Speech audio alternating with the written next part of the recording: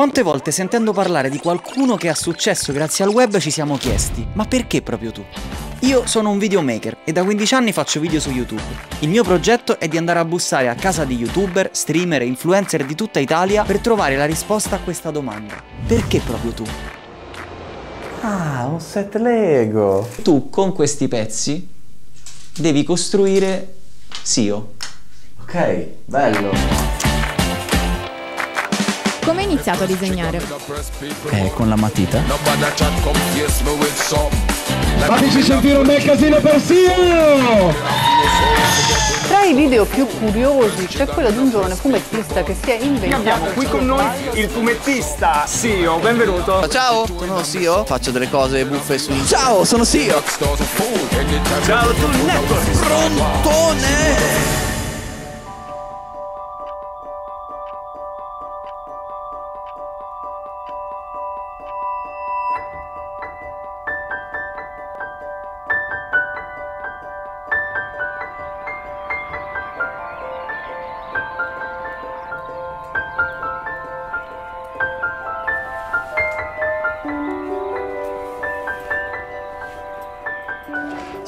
Cercando qualcosa da dare da mangiare a mio figlio per pranzo. C'è qualcosa di già pronto, se no glielo faccio io.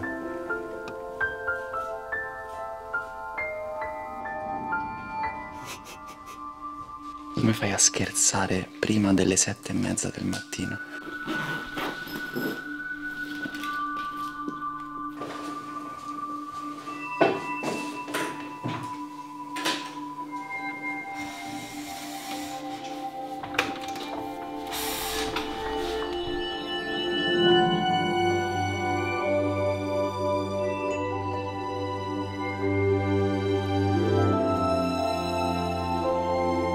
Usare l'umorismo per vedere la vita, per eh, raccontarla, per fare arte è comunque una cosa che di base mi piace fare, ma la uso anche un po' come meccanismo di difesa.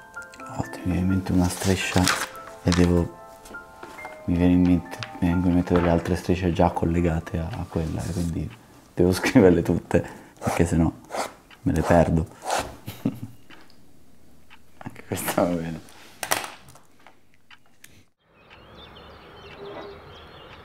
Valle, elicottero. L'elicottero è su. Dopo andiamo a prenderlo. Vuoi un pancake intanto?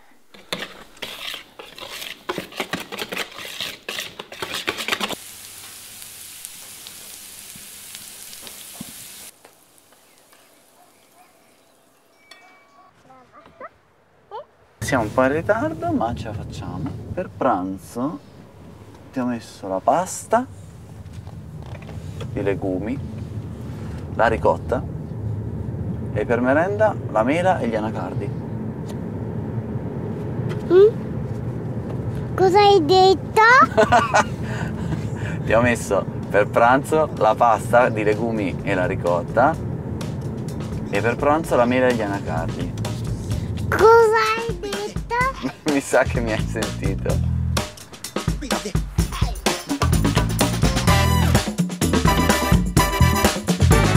Allora, qua siamo a Villa Venier, dove all'interno ho il mio studio per ora.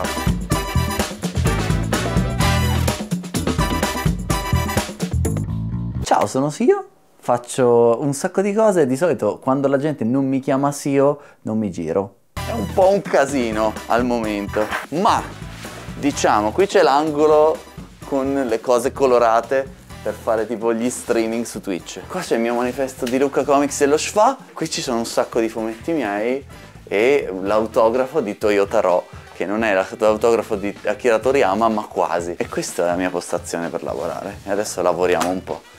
E per, eh, per accendere il computer bisogna fare così. Le pizze sono buonissime, l'ho già detto? Non ancora, questa è la prima volta in cui lo dico, la prima di numerose volte in cui dico che la pizza è buona. Sapevo che c'erano due cose che volevo fare nella vita ed erano i fumetti e la musica. Sono qua, sono qua, ma hai capito? Due così e due di backup. Sono in trasloco, mi sto facendo uno studiolo a casa, avere un posto dove posso urlare e cantare, eh, anche quello è fondamentale. A un certo punto ho dovuto decidere se voglio concretizzarlo, devo ovviamente buttare tutto me stesso. Per la musica sono portato per i fumetti no. E ho scelto i fumetti ovviamente, perché era più difficile. Le cose più difficili fanno più ridere e sono più divertenti. E soprattutto quando riesci a fare una cosa più difficile è più bello, in teoria. Scriviamoci i post-it. Allora, devo pubblicare il video. Quando riuscirò a festeggiare l'uscita del mio fumetto te lo dirò. Però per me festeggiare l'uscita del mio fumetto è ogni giorno che mangio il cibo. Mangiare il cibo è già una cosa bellissima. Poi, importantissimo, mangiare. Quindi il primo fumetto che hai letto? Vabbè, Topolino, che avevo la casa piena di topolini, ho imparato a leggere su Topolino e a un certo punto mia mamma mi ha regalato l'abbonamento, è stato un bellissimo momento. Tu esattamente che giorno sei nato? L'8 ottobre 88, anche la mia data di nascita è stupidissima. Il 9 ottobre 88 usciva questo topolino che abbiamo preso perché è il topolino più vicino alla tua nascita. Wow! Grazie! L'aereo fai da te. Calendario della serie A. Wow! Come funziona la scrittura di un topolino? Vi faccio vedere una sceneggiatura veloce. Ti prego. Questa è la prima che ho scritto. Io sono un grande eh, fan delle sceneggiature disegnate e quindi io faccio il fumetto sostanzialmente, ma disegnandolo, po- per poi farlo ridisegnare a qualcuno di competente tipo Silvia Ziche. Ok, ma quindi com'è successo che sei finito a scrivere per Topolino? Avevo fatto un'intervista in cui citavo a un certo punto eh, la rivista Ridi Topolino, che sì, aveva dei fumetti Disney, ma era principalmente infarcita di baggianate scritte da Tito Faraci. Io all'epoca andavo in ricerca di nuovi talenti, facevo lavoro di scouting anche di tutor per i primi tempi. Due persone che stimo molto mi hanno parlato di SEO e la prima persona è Silvia Ziche e poi mio figlio, credo che fosse uscito il, primo numero del, magazine di SEO, fa guarda che secondo me assomiglia veramente tanto alcune cose che facevi. Poi arriva un'intervista dove lui parla benissimo di Ridi Topolino e di me. Ho guardato su Twitter e ho scoperto che lui mi seguiva. Mi scrive su Twitter, ah quindi leggevi Ridi Topolino. Oddio! E lui mi ha risposto, oh Tito, con tre punti esclamativi, che onore. Sì, lo leggevo e lo rileggo tuttora. Ti andrebbe di scrivere per Topolino?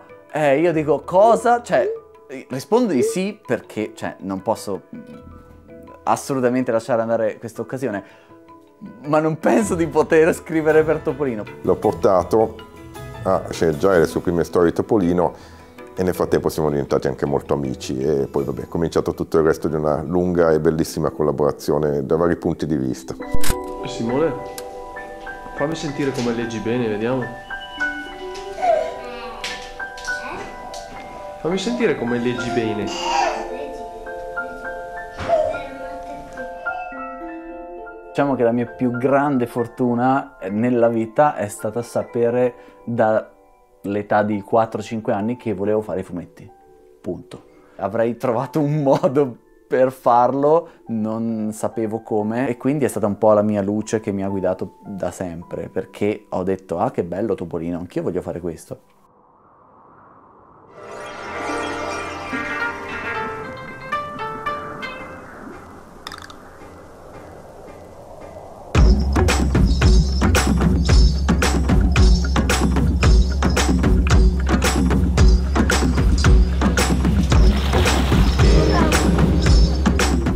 Piccolo mi autoproducevo i fumetti. Quanto piccolo? Ero piccolo delle superiori e mi autoproducevo un fumetto che si chiamava Tutto Scottex. Lo vendevo per un euro perché mi costava 50 centesimi fotocopiarlo nella fotocopiatrice della scuola, 20 pagine. Ne ho fatti tipo 6 numeri, li andavo a vendere nelle classi.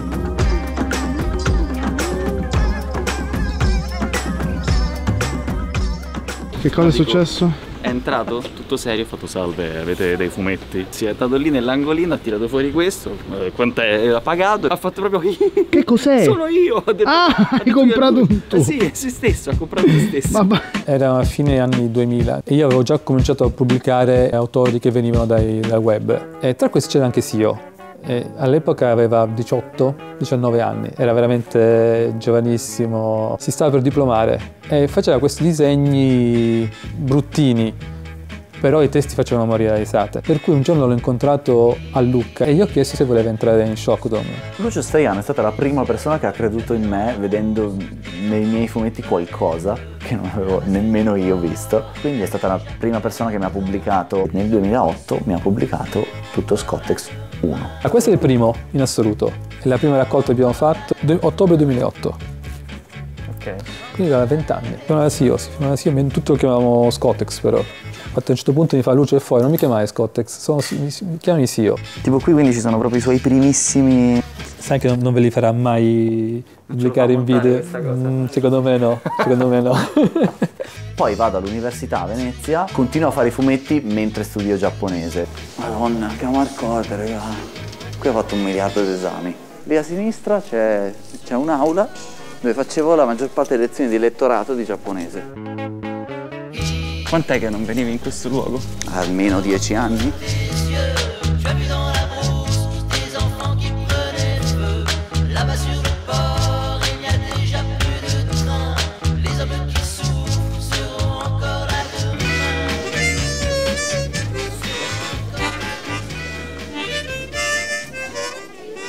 Tu e Sio, come vi siete conosciuti?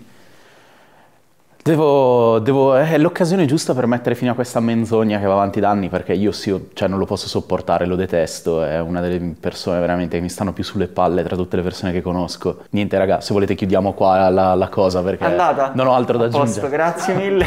Primo giorno di università, che tra l'altro cioè, è proprio la dimostrazione del fatto che non so giudicare le persone, perché sai, classico corso universitario, primo giorno ci sono un miliardo e mezzo di iscritti, tu dici beh mi siedo di fianco a qualcuno che sembra, sai, affidabile, magari una persona seria, ho visto sì, ho detto chiaramente lui è una persona seria. Sono un idiota. Io sono arrivato a Venezia a studiare lingue orientali e ho conosciuto Lorro ad un esame, al primo esame di giapponese.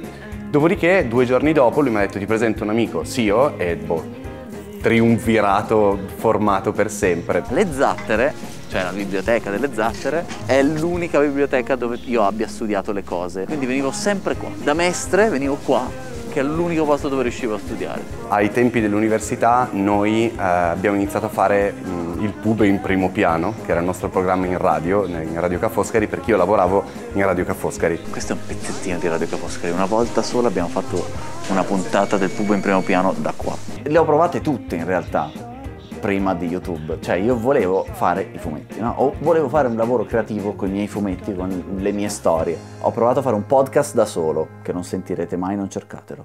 Ho fatto un blog che non troverete mai di racconti e poesie. Eh, ho provato a, fare, a scrivere prosa, ho provato a fare i fumetti nel, nel blog. Quindi stavo provando a tirare un sacco di spaghetti sul muro e vedere cosa, cosa si appiccicava per poi riuscire a lavorarci, a, fa- a creare una base su cui costruire.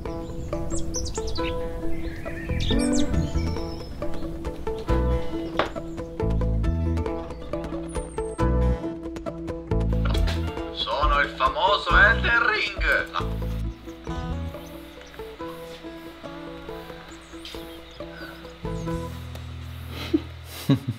Dopo l'università cosa è successo? Insieme avevamo fatto tre mesi a Sapporo durante l'ultimo semestre del terzo anno eh, per uno scambio che puoi fare con l'università. Io ero andato in Giappone per imparare il giapponese. Se riesco a stare in Giappone al posto di pagare i soldi per fare l'università, mi pagheranno per fare dei lavori e nel frattempo imparerò il giapponese per osmosi come minimo. Abbiamo vissuto insieme due mesi, dopodiché io sono tornato in Italia. E Ci siamo scambiati dei lavori perché insegnavamo inglese e italiano in varie scuole. Lavoravo con tutte le età. Ai bambini e alle bambine facevo fare dei fumetti, perché i fumetti sono belli e perché comunque in Giappone il linguaggio del fumetto è abbastanza universale. Cioè se io ti, ti chiedessi di insegnarmi qualcosa con un, con un fumetto, con un cartone. Salve, sono la signor Maria Giangela e oggi impareremo come si fa il tiramisù. Partiamo dalla base. Che cos'è il tiramisù? Boh, nessuno lo sa. La vera domanda è come si fa. Ma la vera vera domanda è perché si fa. Ma la vera vera vera domanda è quando si fa sol re do la. Il tiramisù è formato da due parti. La parte superiore, la parte superiore e la parte in mezzo. Ingredienti: carote, un milione. Patate, un miliardo. Rami, tre. Tea, one cup. Procedimento. Prendete i rami, metteteli su il tea. Ecco preparato il tea rami su. A un certo punto dico, uffa il Giappone, lavoro tutto il tempo, eh, mi sveglio prestissimo per fare i fumetti, ma non me ne sono mai andato da Sapporo, stavo a Sapporo a lavorare. Quindi chiamo Nick e dico, Nick, scusa, facciamo il giro del Giappone in bicicletta per piacere?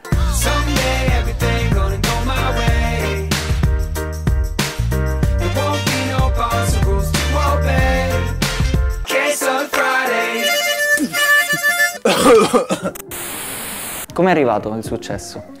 Ma sai che credo, e qua potrei sbagliare, comunque con i video su YouTube, cioè nel senso c'era stato quel periodo che aveva iniziato a fare tipo le traduzioni de- delle canzoni fatte con Google Translate. E io ho appena incontrato E questo è pazzo Ma qui è il mio numero Così mi chiamano forse È difficile guardare a destra A te piccola Allora, il mio canale Scottex eh, di YouTube l'ho aperto nel 2006, ma ho iniziato a pubblicarci roba nel 2010, cioè con i Maybe, ehm, e adesso ha 2,2 milioni di iscritti, che non è un numero. Ma da- mh, col fatto che lui fosse in Giappone non si capiva il suo successo. Io, neanche, io forse neanche lo sapevo che avesse aperto il canale, poi lo sapevo ma non ci badavo molto. Per cui arriva settembre, c'è il Treviso Comic Book Festival e lui intasa eh, la, la fiera. Basta, vado Cosa? a fare un giro in Giappone. Ah, no, scherzavo, invece Ah, lo mi- faccio credevo- in Italia. E poi, visto che ho sempre voluto vedere la Tour Eiffel, vado, Parigi. vado anche a Treviso Eh, eh, il 27-28 al Treviso che- Comic Book Festival. Ehi, Sio! Ah, no! Praticamente hanno dovuto prendere la sua scrivania, metterla fuori, c'è la coda lungo il corso di, di Treviso che arrivava non so dove. Hanno dovuto, poi metterlo fuori perché stava bloccando tutto. Passi dalla persona che conosci nel quotidiano normalissimo al momento in cui, che ne so, c'è il ragazzino che lo ferma per strada e dice scusa ma sei Sio? E tu rimani un attimo interdetto e dici aspetta un attimo ma sta succedendo davvero questa cosa? Questi numeri nella mia testa, siccome non hanno senso, per me sono una cosa binaria. Posso fare questo lavoro? Sì, no. E al momento sono su sì. Fine.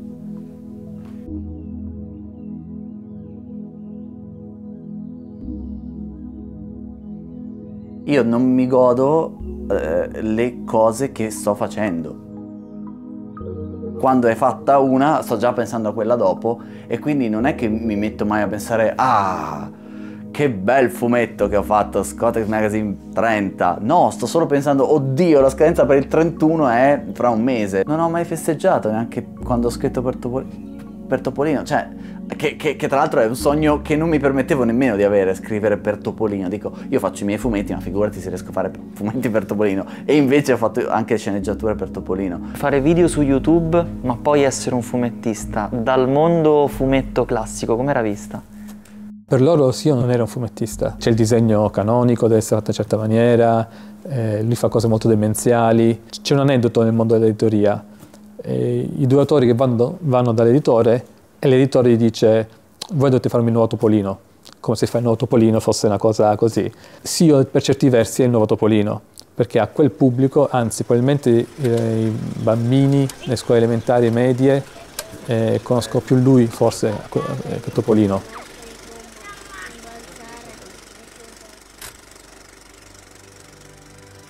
Che famo? Famolo. Eh, Ti do ok. il magico cofanetto. Ma che bello, è un cofanetto di set Lego. Cos'è un set Lego? Tu intanto spacchetta. Ah, un set Lego. Allora, quelli sono 50 pezzi Lego. Il volante mi fa già ridere. 50. E tu con questi pezzi devi costruire Sio. Ok, bello. Posso? Vai. Allora, posso metterci un po' di tempo, giusto? tutto il tempo necessario. Two days later. Tutti i pezzi che voglio. Ma io li uso tutti, raga. E questa è la, la cosa che non sapete.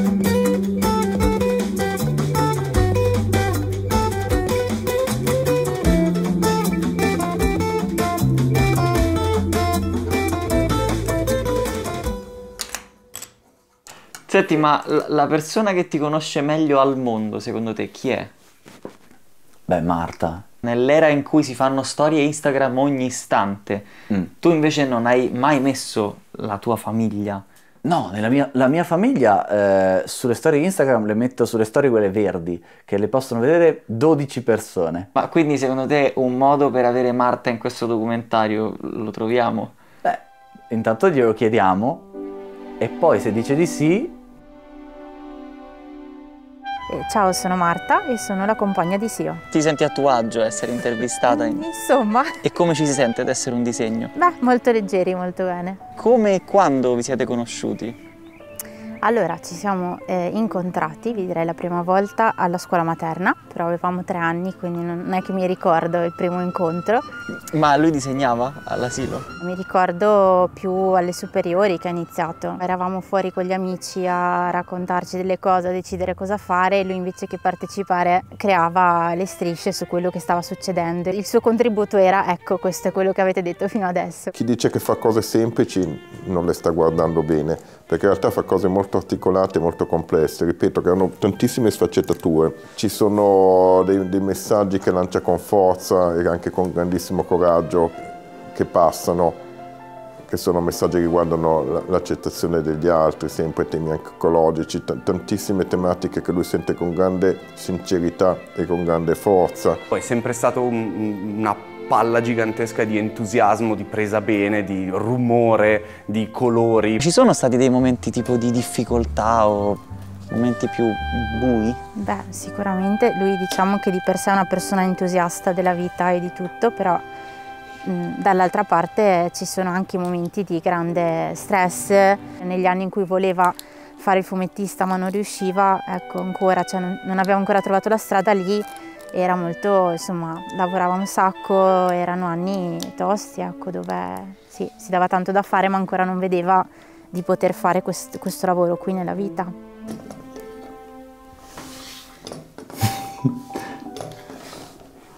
ecco adesso però l'ho sbilanciato troppo indietro.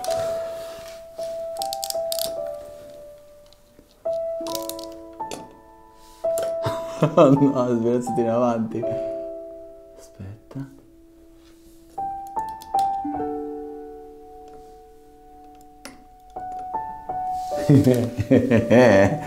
Questo sono io, uguale. È riuscito in un momento di grandissima popolarità che poteva anche travolgerlo, nel senso più negativo è riuscito a non farsi travolgere. Dal punto di vista umano, lo dico come amico, sta attraversando una bellissima fase. Eh, riesce a vivere molto bene eh, il, il momento di genitorialità, mol- molto vicino ai suoi amici, eh, ha ha dei momenti anche di riflessione personale che si, che si concede, fa bene a concedersi. Ve lo spiego? Ti prego. Allora, i denti ne ho già abbastanza, quindi non li ho messi, sono molto aggressivi, non mi piaceva, sono proprio denti. E, mentre tutto il resto è una cosa che non dovrebbe funzionare, ma funziona. E tipo ogni, ogni parte non, utili- non viene utilizzata come dovresti. Tipo il, volante è dietro e che è bloccata da tutte queste cose. E, e pensi che questo sia il davanti, poi c'è, un pezzo illegale, cioè è messo verticale perché non si può, sarebbe una costruzione illegale delle Lego. Eh, e questo è un accrocchio che esiste solo per tenere in piedi tutto il resto. E questo è un pezzo che non dovrebbe assolutamente stare così, ma io sono molto molto eh, determinato e ce l'ho fatto stare lo stesso. Lui come papà, com'è? Eh beh, è molto presente, è quella parte libera fuori dagli schemi lui a livello educativo, di creatività, inventano storie assieme, si leggono Topolino, stanno lì anche un'ora e mezza, Lui disegna per insegnare delle cose a vostro figlio? disegna su commissione per nostro figlio perché ogni tanto gli chiede i disegni delle macchine o delle cose, che tra l'altro è l'unico lavoro su commissione che fa perché tutto il resto invece si guarda bene da prendere lavori su commissione, giustamente insomma. Lui è un padre di famiglia, è terrificante questa cosa. Cioè, è veramente assurda, eppure sì. Cioè, quello maturo di noi tre è lui. E è incredibile come riesca a conciliare sta cosa. Non ha perso quella scintilla di essere fondamentalmente un imbecille. Che non è, anche quella, non è una cosa scontata e non, non so onestamente come faccia. Si parte da una base, no? Deve esserci una base di, di qualcosa nella vita da cui partire, su cui poggiarsi, di relazioni, di persone, di cose che sai, di cose che studi. E poi ho visto che era asimmetrico, eh, io sono storto, sono storto anche nella vita in generale, quindi mi sembra appropriato che faccio delle cose per bilanciarmi e in qualche modo sto in piedi.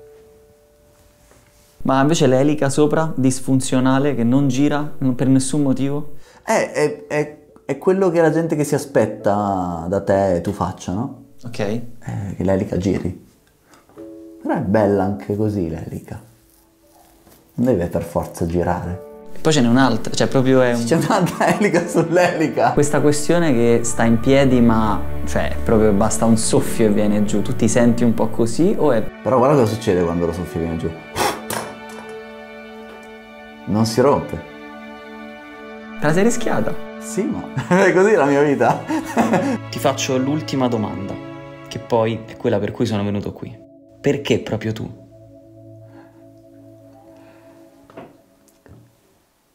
In parte, se ignoriamo la fortuna, il privilegio mio di venire da una famiglia eh, emozionalmente stabile, economicamente anche, e il fatto di essere un maschio cis, anche questo mi ha dato sicuramente un aiuto. In più c'è la fortuna e detta anche quella, la parte che sono riuscito io a fare la differenza è stata il mio superpotere eh, il- la determinazione totale di dire lavoro un miliardo di ore, io prima o poi fumetti, cartoni, la musica matta la faccio. Scolando la pasta, l'acqua è tutta, eh, è tutta i privilegi che, che- che arrivano dal, dal mondo, da- da- dalla mia situazione.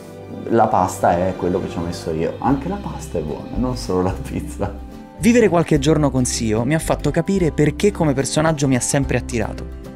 Lui è proprio un cartone animato. La sua storia è quella un po' smielata che a vederla uno pensa che sia finta.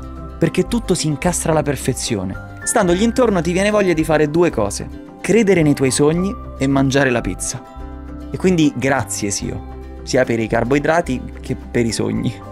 Come vorresti che finisse questo documentario? E poi muore. no, poi è morto davvero.